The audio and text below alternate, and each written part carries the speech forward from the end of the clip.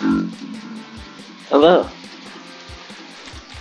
I am Fonze, and uh, this is a beta of a map called Subversion.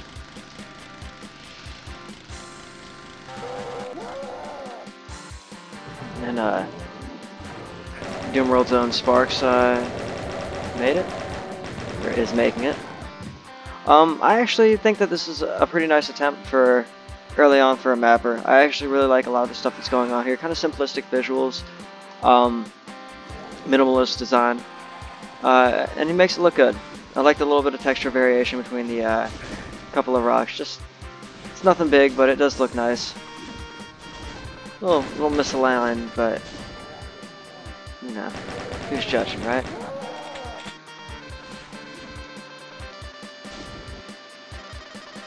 I am. It's me. No, I'm kidding. Um, I really don't have to even kill these guys.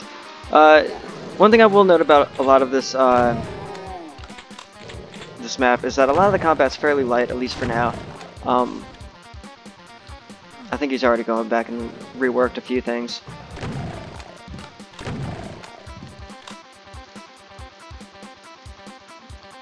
But this is primarily meant as just a feedback video. I actually don't even know if I'm going to wind up listing this.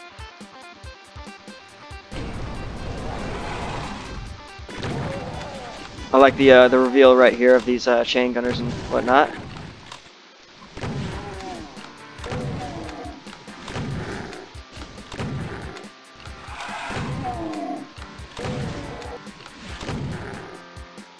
There is some nice, uh, nice little running gun action going on here. Some of these secrets I don't understand how you're supposed to even figure out. Like that, I just wound up pushing that on my first playthrough, and I just heard the sound, and I was like, oh, I guess that's something. Um, I didn't do it for any particular reason other than it just looked interesting. And I guess maybe that was the point. I'm not sure.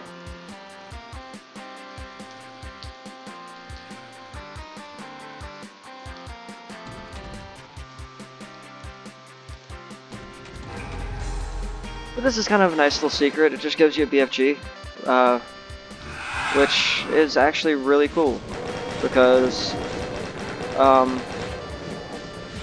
too many people focus too much on making like this absolute perfect logical progression, and it's just not necessary. Like we we've done it a thousand times with all of the thousands of maps that we've played already. Um, so it's cool seeing stuff like you know a BFG even in a pretty pretty easy map like this. Like this could very easily be like a map one slot of like a megawad or something like that. And yet you got this BFG, which I think is nice. These bulls, um, to kind of get into more of the gameplay side of, of things, uh, with monster placement and whatnot, I I've liked everything pretty much up to this part. The first two bulls in the very beginning were a little bit useless because uh, you really have never no reason to ever go back down there where those where they are. Um, I guess they just serve to catch people on like their first playthrough. You know, you see the bulls and you're like, okay, well let me just take them out real quick, and then you get hit by the uh, shotgunners there, or possibly the imps. Uh, and to that degree, they might have some use, but even still, might as well not even be there. They would be more useful up front or up up top in that area. Um, the rest of the enemies going forward up until this part are good. Uh, these guys, not not quite sure, not so much. Um, all they really serve is just to Dora's health right here, and you get the Berserk pack, so you just kind of like walk like right here and just kind of do this. I mean, at least the punching's a little bit more interesting on PrBoom than it is on GZDoom, but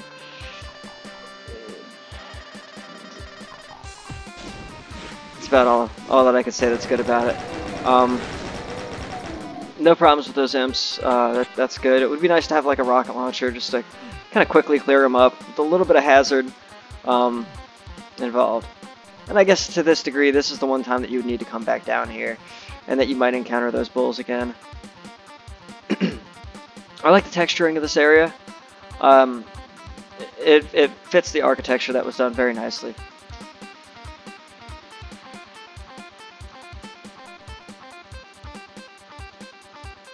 I, I have no idea why he went and did that, but it just looks really cute. It's it's kind of almost hard to notice, um, but it's cute. I like it.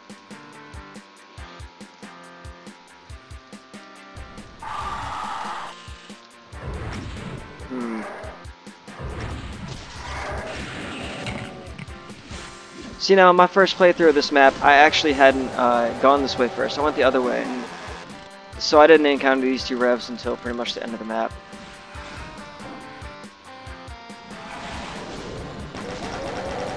And um, one reason why I'm playing it this way is because I'd like to see just how the difficulty ramps up going from this direction. Because from the other direction, I ran into a spot with four Revenants, and not that it was a particularly too bad of an encounter, it was a little bit tight and it was fun. Uh, it was probably my favorite encounter of the, of the map. Although I do say I like the monster variety in this one. And the, of course the use of the zombie men right there is just a little bit of fodder, a little feel-good moment, some type of distraction also to give give the other monsters a chance to deploy, uh, which is nice. Um, but that other fight, it was just the first time you see revs, like everything else is pretty easy going. Like you see how this is all going fairly easily. Um, nothing too surprising. And that caught me like totally off guard.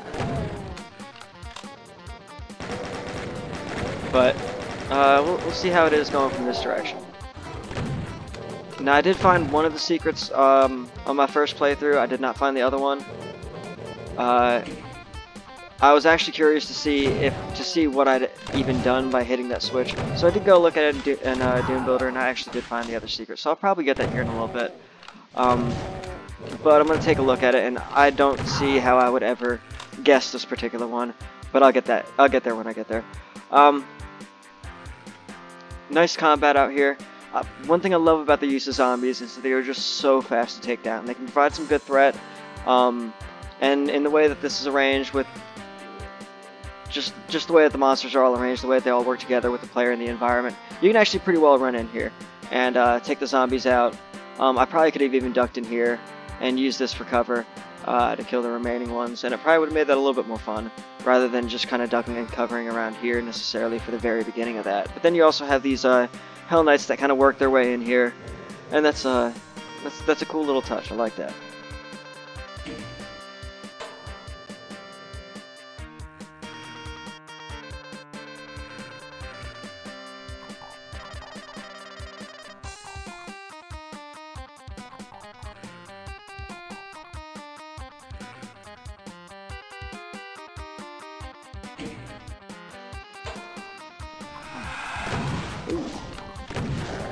This does not look like, like a lift at all. That thing should be changed. Um, I mentioned to uh, Sparks one that I'd gotten a little bit lost in this earlier. Uh, I didn't have, or I should say, there was a terrible glare on, on the screen, so it was kind of difficult to see everything anyway, like in detail. Um, but this was one of the reasons why I got lost, because that just, it doesn't look like a, uh, a lift at all.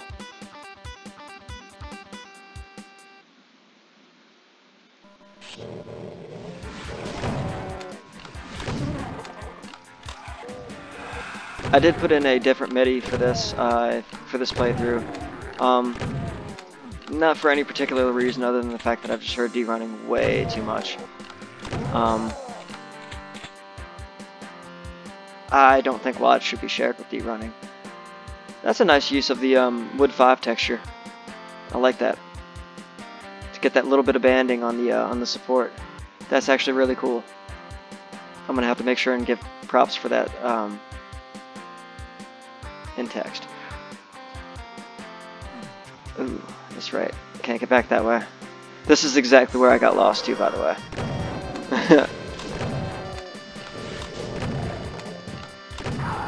well, I guess that would be obvious considering the fact that, that I mentioned that lift earlier.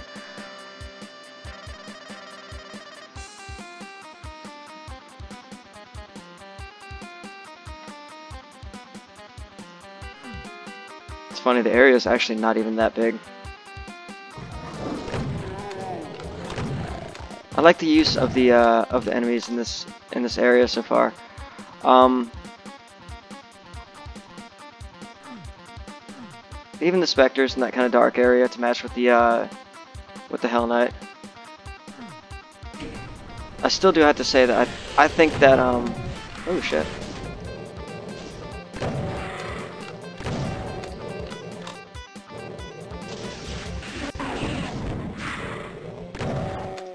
Think a rocket launcher would really do uh, do wonders for making this level. Just the the pacing of it kind of move a little bit faster. Um, I think that's already been reported. But uh, making the pacing move a little bit faster, I think would be nice. Uh, I think a rocket launcher would help with that. It also, with the tight quarters in here, the relatively tight quarters, it would add some some good hazard um, to its use, which is always good.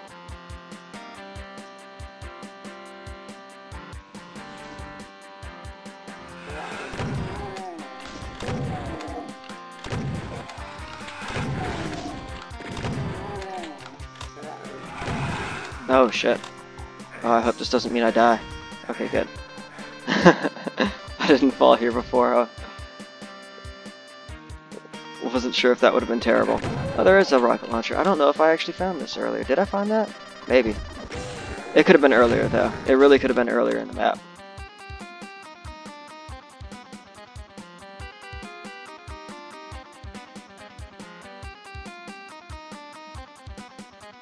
So this is the other secret. Um, don't know how you're supposed to know to do this other than maybe just a kind of what's the word I'm looking for? An inherent need for sadism maybe might kind of make you want to do this, but apparently that's the trigger. I don't know. I guess we can only assume that the author just shoots every hanging body he comes across. Just make sure Mussolini is dead. Just, just to check. Or Mussolini's general? I don't know. I forget who that who that was exactly.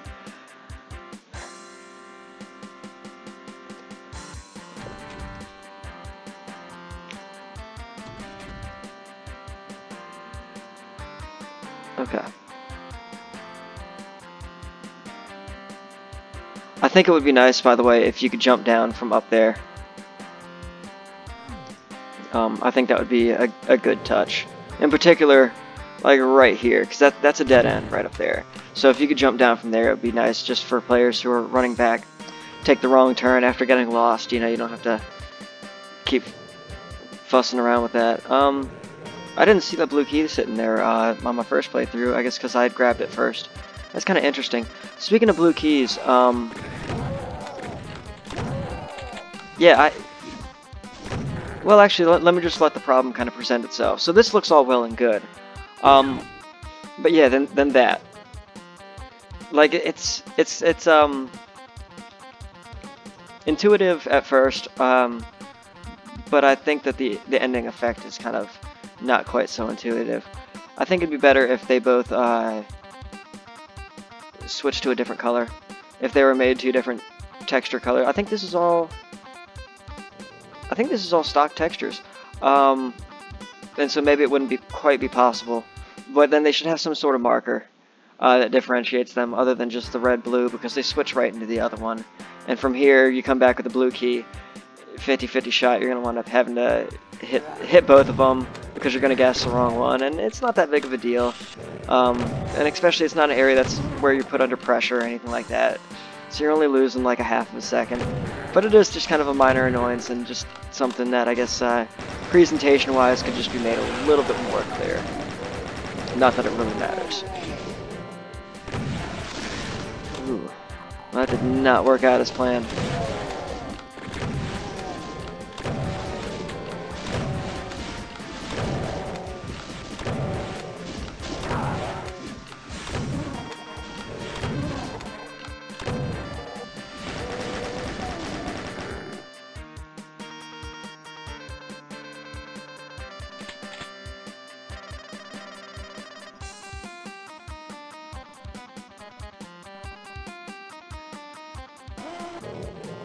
Now I understand that was originally an Arch-vile, um, and he switched it to a Baron. Honestly, I think both of them are bad choices. Um, I would go with the Revenant, especially considering the fact that there, there's your four Revenant trap right there. Uh, that would be a nice little introduction to like, hey, you're going to be fighting Revenants here in a second. Um, considering the fact that you only see Revenants really on the path to get the red key.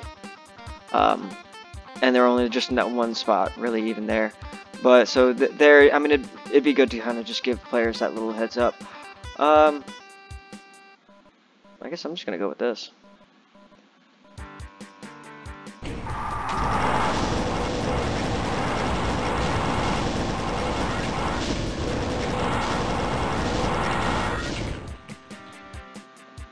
See, it's not that it's particularly difficult encounter, especially when you know it's coming, but that's definitely the toughest encounter of the entire map. By far.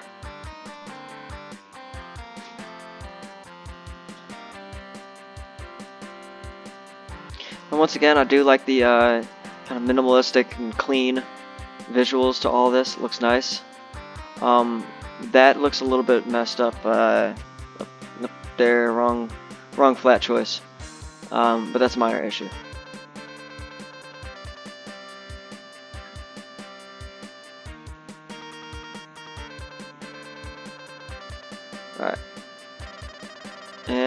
Actually, with that, we're done with the map.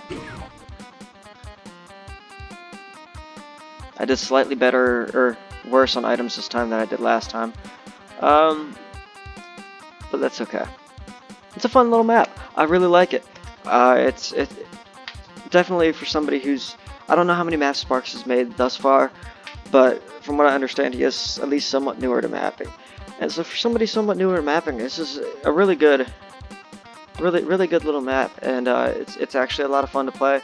I would like it if the combat was a little bit more pressuring, would be maybe the word. Um, and maybe if some of the tedious uh, kind of tediousness issues were kind of just ironed out a little bit in favor of just creating a little bit more pressuring um, encounters.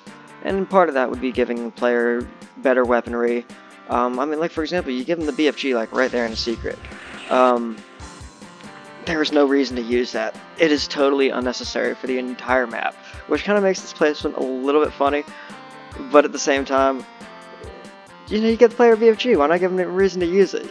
Give, give him a rocket launcher too. I mean, you give them the super shotgun right in the beginning. How many super shotgun grinds have we have we had? I say give give him more interesting weapons. I like that you give the uh, pretty much all the weapons in this. That's that's nice. Um, and there is something to be said about good spacing of them all, but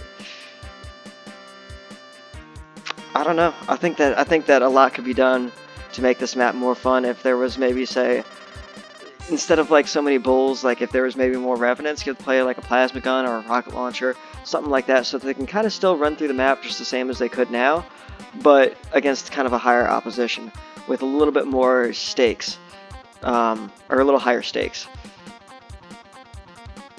Um, in addition to that, just kind of most of the most of the combat of this is, is basically of the incidental variety. Um, you know, you're running corridors and you're meeting monsters. Um, I do like uh, the, the use of the turreted monsters in several places here. They definitely add a lot to the gameplay, and so good on you for that. Um, but definitely, definitely still some stuff to work on. Um, this was a pretty fun encounter. This one right here, I think this one really could have been fleshed out a little bit more just for how interesting and potentially dynamic the area right here is. Um, little things like that.